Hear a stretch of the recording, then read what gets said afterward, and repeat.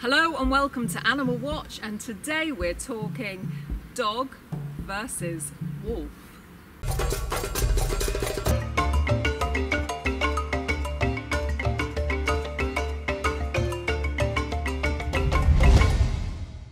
Now, I have worked with wolves and alpha dogs for many, many years now, and I felt the need to make this episode as there are many factually incorrect videos circulating on YouTube and the internet right now pitching dogs against wolves.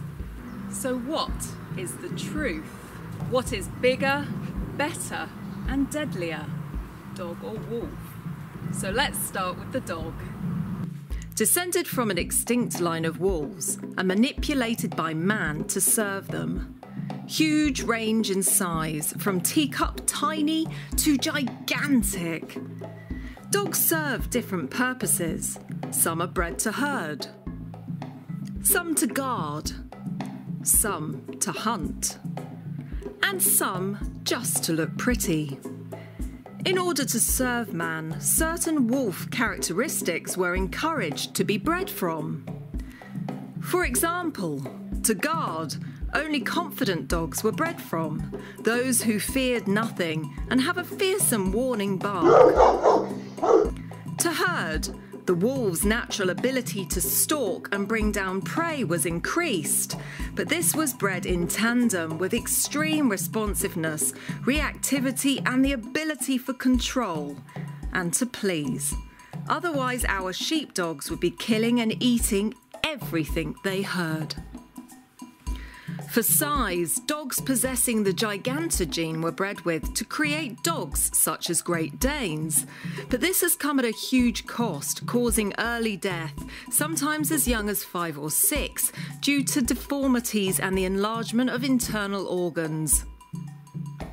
Ironically, small dogs seem to outlive large dogs, some exceeding 20 years old in some circumstances.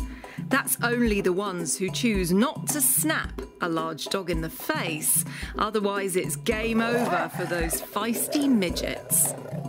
Some dogs have crushed muzzles, deformities, can't breathe, joint problems, dirty floppy ears, and low hips.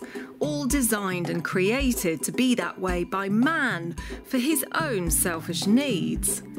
Some dog shows even encourage these deformities, and since Victorian times, we have seen dogs change and look even more distorted.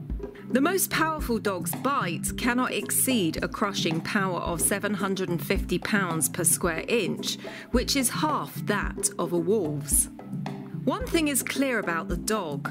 It was bred to be a slave to humans, obey us, and see us as leaders so we can manipulate their behaviour to our own needs, just as if we were their alpha.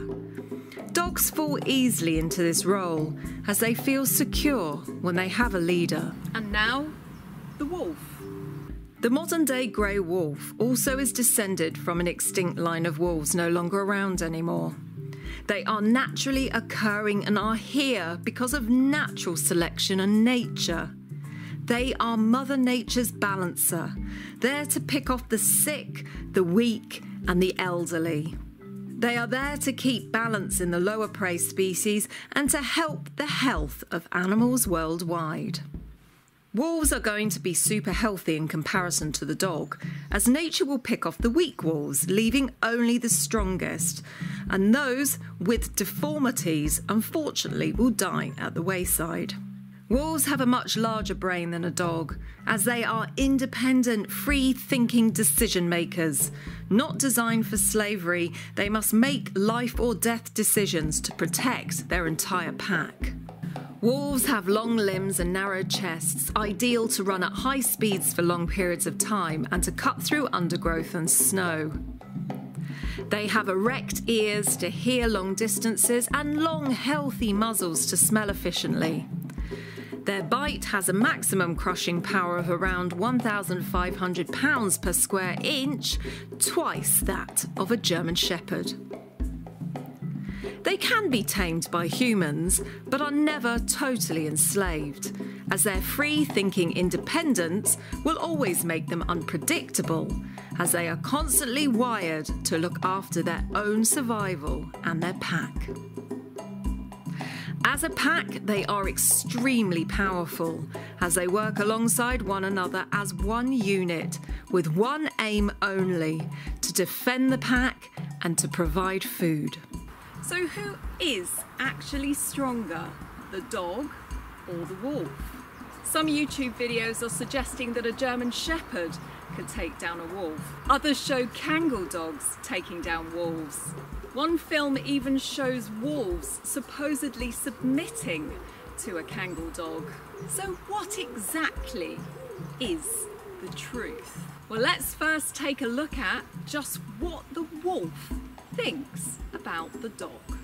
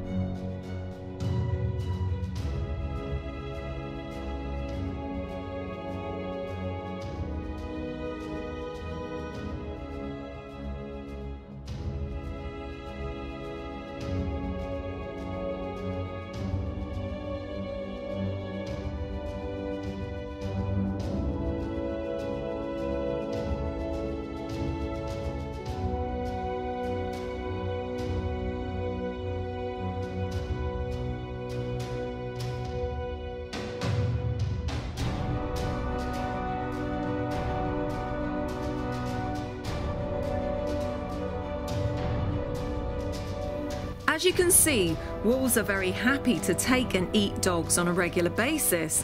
This is usually because of territory and not food.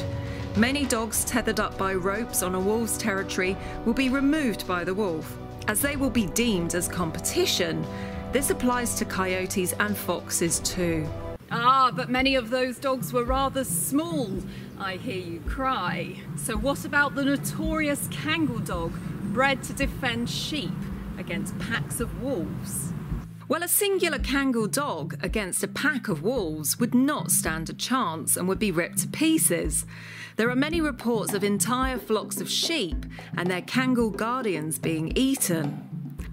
There are also YouTube films of singular wolves caught in traps by hunters or tied up, and then the Kangal dogs are set upon them as a huge pack. A wolf does not stand a chance against a pack of dogs, especially if it is unfairly tethered. There are also some dubious films on YouTube showing a singular Kangal supposedly killing a single wild wolf.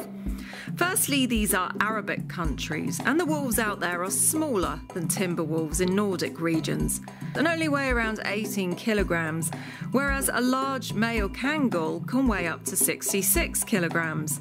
The Iranian wolves, which inhabit Turkey, are also much smaller, and a large male won't get past 30 kilograms, which is half that of a Kangal.